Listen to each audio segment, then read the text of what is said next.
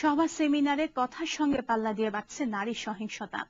এত ব্যবস্থার পরও কেন কমছে না ভয়াবহতা?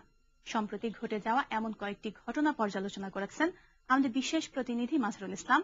ধারাবাহিক রিপোর্টের আজ প্রথম পর্বে থাকছে নরসিংদের এক পাষণ্ড স্বামী। কীভাবে কেটে নিয়েছে? কলেজ পড়ুয়া স্ত্রীর ডান হাতে সবকটি আঙ্গুল।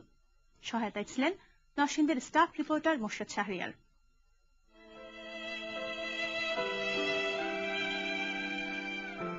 ফুলের মতো স্নিগ্ধ কোমল নাম, জুই।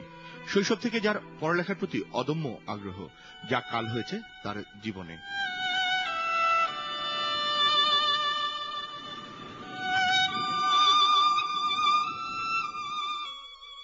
জুই আর লিখতে পারবেন না, কারণ তার মাদ্রাসা পড়ুয়া প্রবাসী স্বামী ডান হাতের আঙুল কেটে নিয়েছে।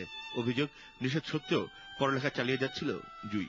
দেশ থেকে আসা করছে মানে আমার জিজ্ঞেস করছে যে আমি ইন্টার পরীক্ষা দিব কিনা। বলছি দিব।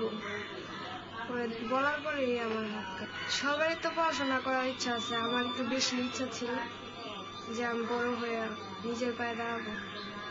আমার উকালতি পড়ার ইচ্ছা ছিল আমি আমি ফর্ম ফিল আপ করে আসছি।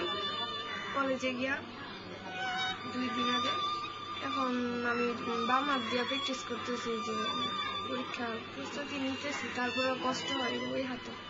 বলছে যাতে মানে কারও কাছে না বলি আমার যে হাত কাছে ওর কঠিন বিচার চাই ওর যাতে এমন বিচার হোক যে ও মানে কিছু না করতে পারে আর- মানুষদের। পড়তেন নরসিংদী সরকারি কলেজের দ্বাদশ শ্রেণির মানবিক বিভাগে। জানালেন কীভাবে একটি একটি করে কেটে নেওয়া হয়েছে তার আঙুল। আমার আঙুল আমি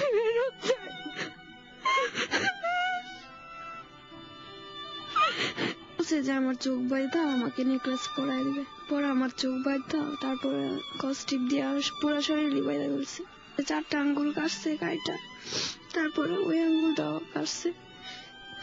পাঁচটাই কাটা ফেলছে। মেয়ের এই পরিণতির জন্য নিজেকেই দোষী ভাবছেন জুয়ের বাবা। তাকে চাপ দিয়েছে লেখাপড়া না করার জন্য। তারপরেও সে লেখাপড়া করছে করার পরে ঢাকা বোনের কাছে ব্লাবদা নিয়ে গেছে। শুনতে পারছি সে বিদেশ থেকে সাথে সাথে আইসে। তারপরে সে হাত ফেলে পারিবারিক কলহের এই সহিংসতার অধ্যায় বেশ কিছুদিন দেশে বন্ধ ছিল। ঢাকা বিশ্ববিদ্যালয়ের এক শিক্ষিকার স্বামী চোখ উপড়ে ফেলার চেষ্টার পর পারিবারিক সম্পর্কের হিংস্রতার উপস্থিতি ভাবিয়ে তুলছে শুধু সমাজকে। মাসুল ইসলাম আর